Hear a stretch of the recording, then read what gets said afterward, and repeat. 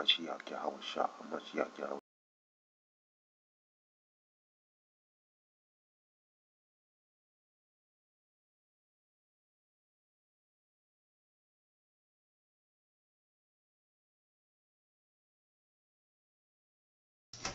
Shalom, brothers and sisters. Once again, it's the voice of Brother Taza Doc coming at you through the spirit of Yahweh Bahasham Yahawashi. We begin all things with the illustrious name of over the 18 original nations. Some of you may know, some of you may not know, some of you may concur, and others may not concur. And if you do not, as saith in the scriptures, produce your proof.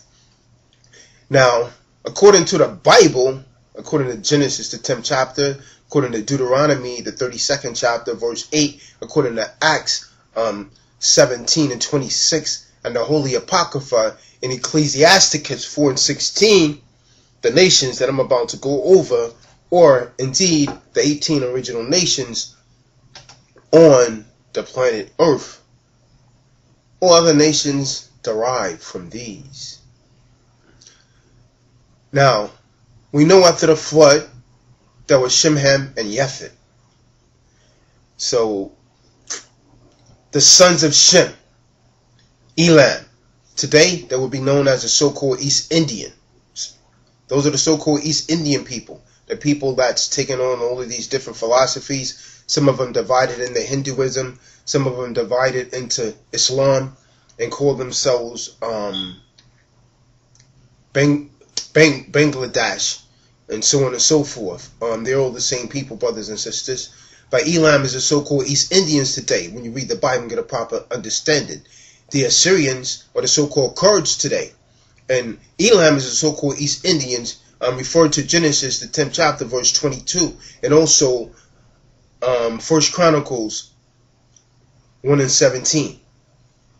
The Assyrians today would be the so-called Kurds um, Genesis, the 10th chapter, verse 22. First Chronicles, 7th chapter. The Syrians are indeed the Syrians, the people of Syria. Genesis, the 10th chapter, 10 and 22. And First Chronicles, 1 and 17. The Ishmaelites or the people known as Arabs. Now here's where the confusion come in sometimes to get the proper understanding, we have to look at the etymology of the word. Many of you look at Arabs as a nationality. Arabs is not a nationality.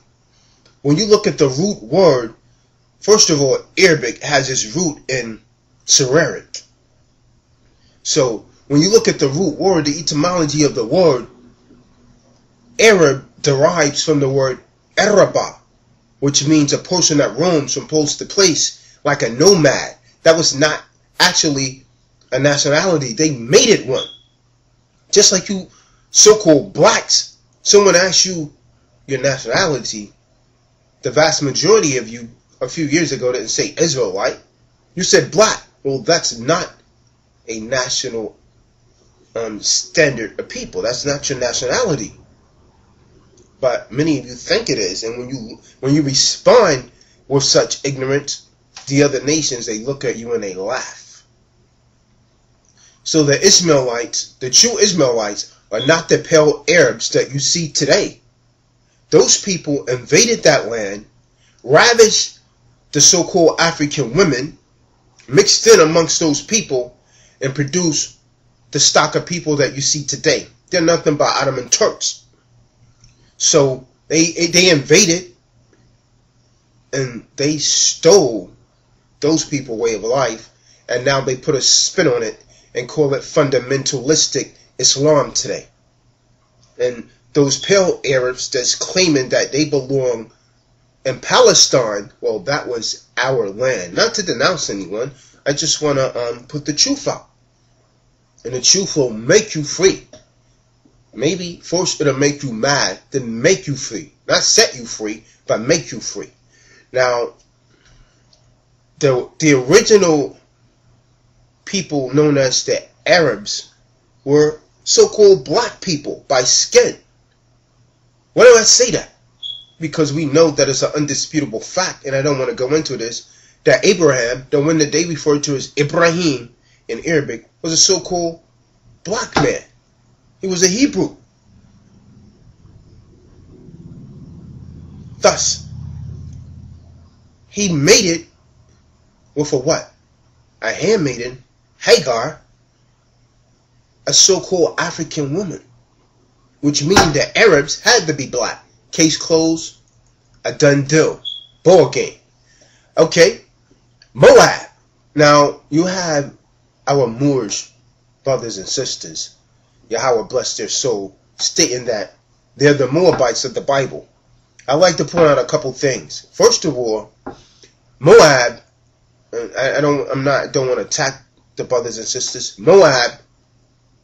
Moab had a brother. Why don't you ever speak of him?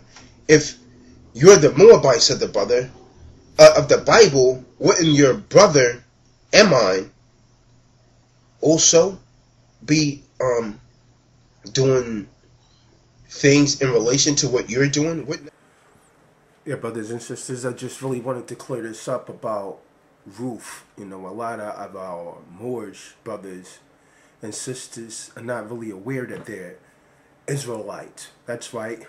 Um, you guys are also from the nation of Israel, Yasha Allah, the children of God, and a lot of you have picked up the um, false doctrine of Islam, yet you claim not to follow religion who exactly is it that you're praying to in your prayers. But I don't want to get into that topic. I just want to clear this up about Ruth. Understand this.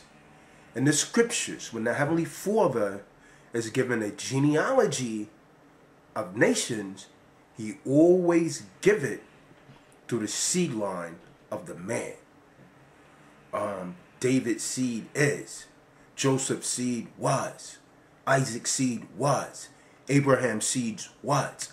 So it's the seed of the father that determines the nation of that particular people, a person.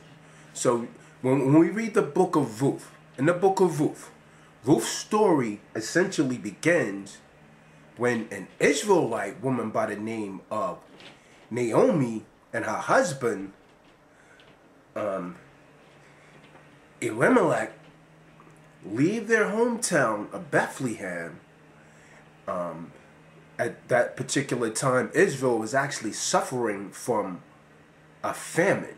So they decided to relocate to a nearby nation of Moab amongst the Moabites. Now, eventually, Naomi's husband dies and Naomi's two sons dies. But prior to Naomi's sons dying, they marry Moabite women. Women. One by the name of Oprah and the other by the name of Ruth. Ruth was a Moabite.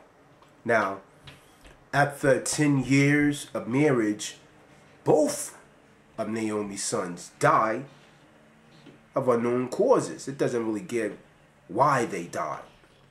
So she decides at such time that it's time to return to her homeland because she heard that the Most High is giving bread back in her homeland of Israel because the famine has subsided and she no longer has immediate family amongst the Moabites, amongst Moabs.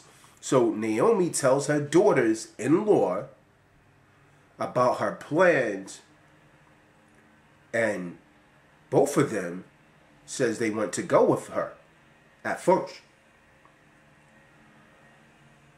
But, you know, she tells them about, you know, you're still young women and so on and so forth. And you could remarry since both of your husbands are dead.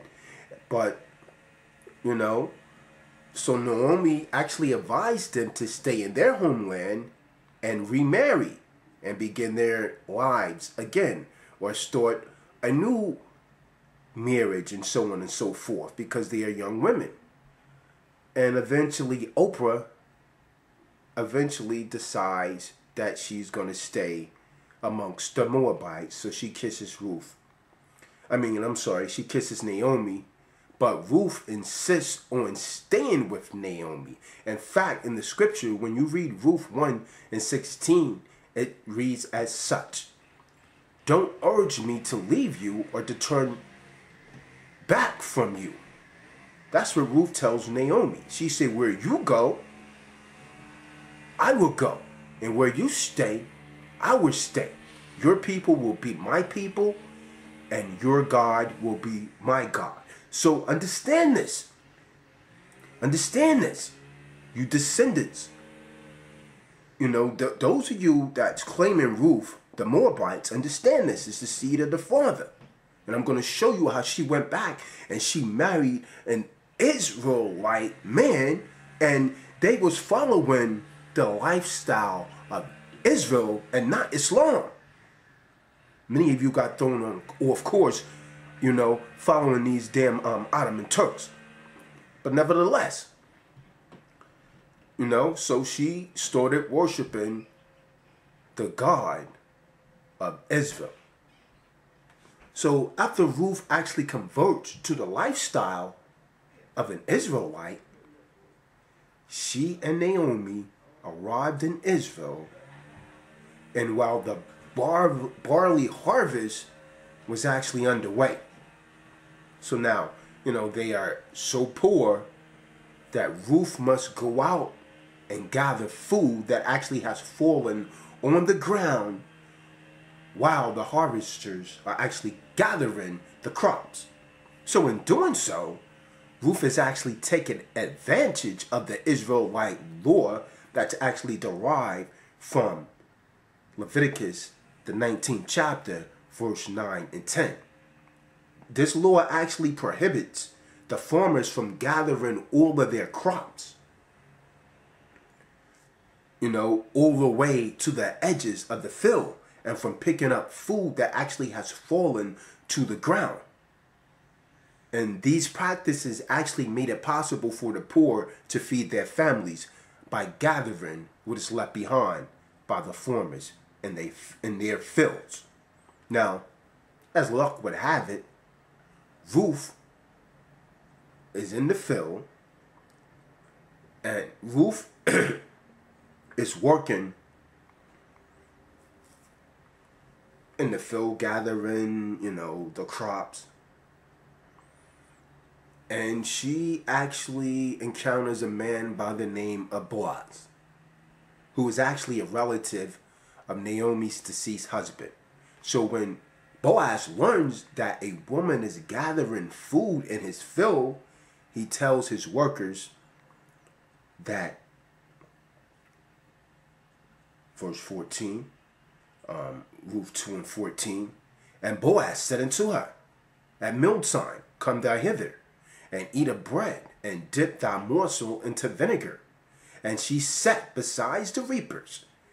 And he reached her perch corn, and she did eat, and was suffice, and left. Verse 15.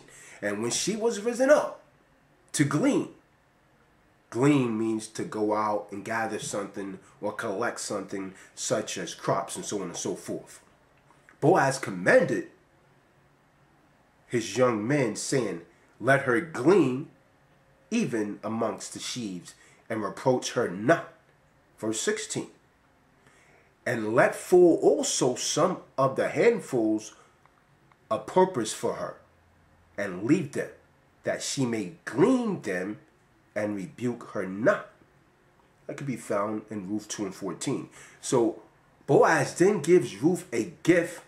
You know, he gave her the gift of the roasted grain and tell her that she should feel safe working in her fields. So, in conclusion, when Ruth tells Naomi what happened, Naomi tells her about the connection with Boaz. So Naomi then advises Ruth, you know, her daughter-in-law, to dress herself up and sleep at Boaz's feet while he and his workers are camping out in the field for the harvest.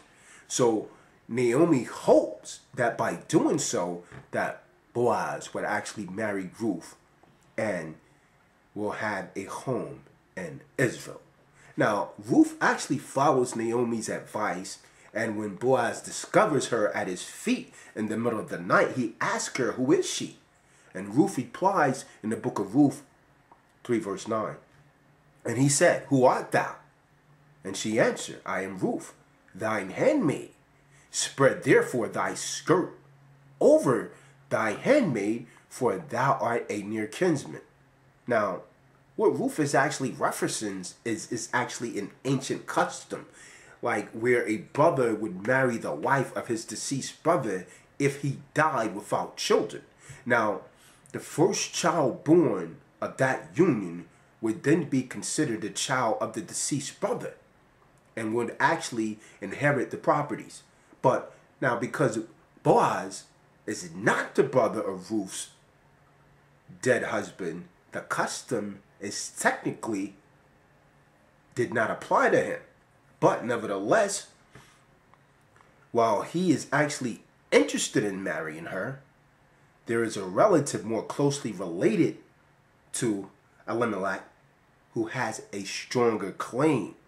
So what actually happens the following day, Boaz speaks with this relative and with 10 elders as witness. And then Boaz tells him that Elimelech and his sons have land in Moab that must be redeemed. But that in order to claim it, the relative must marry Ruth. But the relative is actually interested in the land, but he does not want to marry Ruth, since in doing so, it would mean his own estate would be divided amongst any children that he would have with Ruth. So he asks Boaz to act as his redeemer, which Boaz is actually more than happy to do. So he marries Ruth, and she soon gives birth to a son named Obed, who becomes the grandfather of King David. Now, because the Messiah is actually prophesied to come from the house of David, so both the greatest king in Israel's history and the future Messiah is connected to Ruth in that way, a Moabite woman who actually converted over to our way of life, the Israelites, and became amongst the Israelites. That is how you Moors were tied to Israelites. So you Moors are really Israelites because it's the seed of the father that determines what the child is. Understand that. The woman is the fill in which the man plant his seed. It's the seed of the father that determines what nation you are. There is no such thing as a mixed person. Understand that. Now you have the truth. What are you going to do with it? You could either embrace the truth or rebuke it. But it's time to do away with all this foolish nonsense about your Moabites. No, you're not. It's the seed of the Father. You're an Israelite. Yasha'Allah, the children of God. And you heard it from the mouth of your brother, Tazadaq. So now you know who's said yeah, brothers and sisters, I just really felt the need to really clear that up about Moab. And Ammon, Ben Amin, the brother of Moab, is the so-called Japanese. Um, read, refer to Genesis, the 19th chapter, verse 30 to 35, and also the book of Ezekiel, the 25th chapter, verse 1 through 12. The people of Edom. Esau Edom meaning red, Esau meaning hairy, Adawam in Hebrew, Ishur, wasted away, is the so-called white people when you read the Bible and get understanding. Refer to Genesis, the 25th chapter, verse 19 to 34, and Genesis, the 36th chapter. Israel, Yasha'Allah, are the so-called blacks, Hispanics, and Native Americans refer to Genesis, the 29th chapter, verse 32 through 35, and the 30th chapter, verse 1 through 20, 24, verse 40, um, chapter 40, um, verse 50 to 52, and the 49th chapter of Genesis, verse 1 through 28. And to let you know who the Israelites are.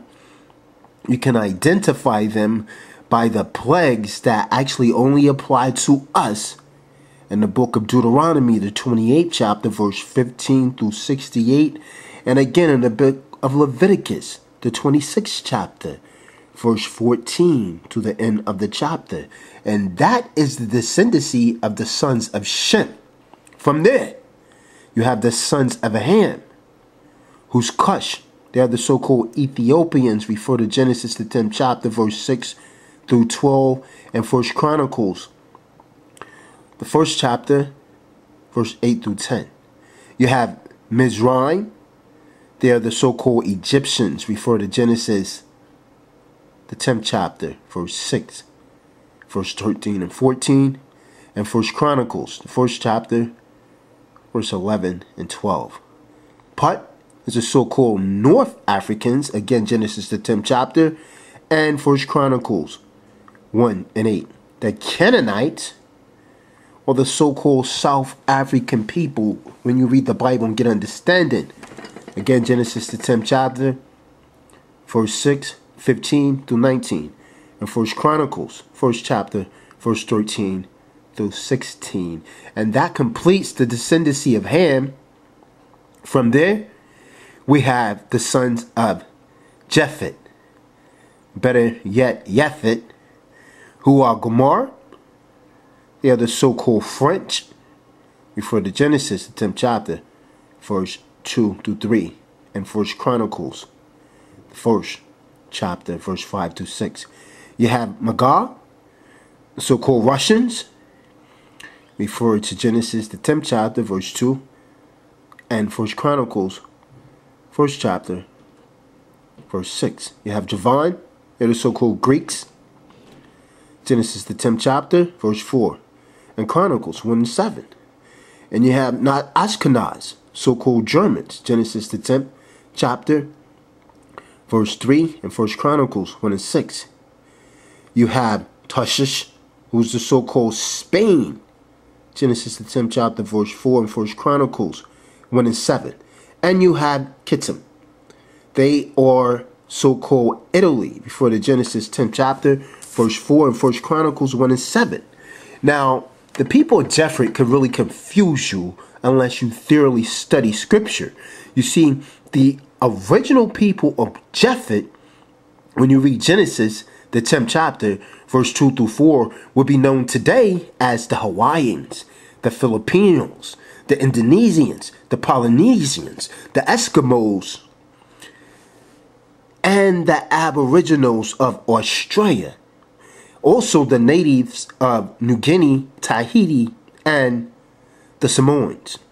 These people were actually pushed out of their land located in Europe around 8th century BC by those people that refer to themselves today as Greeks and Romans. See, today, Greece, Russia, Italy, Germany, Spain, France are inhabited by so called white people. They are Edomites. So the people that carry those titles today are Edomites. Those people whose forefathers are the ones that stole Japhet's land. To prove this, read Deuteronomy 7 verse 7. I'm sorry, Daniel 7 verse 7. And the second chapter verse 40. Also refer to St. John's 10 and 10, Job 9 24, Psalms 49 and 11, Deuteronomy 27 and 17. And finally, Proverbs 22 and 28. And there you have it, brothers and sisters, from your brother Tazadaq. Now you can like that, understand it, believe it or not, but those are the nations according to the Bible. Genesis, the 10th chapter, Deuteronomy, the 32nd chapter, verse 8, Acts 17 and 26, and the Holy Apocrypha, Ecclesiasticus 4 and 16.